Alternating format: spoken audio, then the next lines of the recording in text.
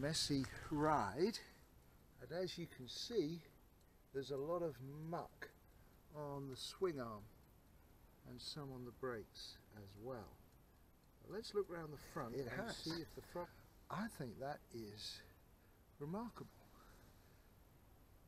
The screen and the headlight and the forks are clean. It's just a tiny bit of spray on the front fender.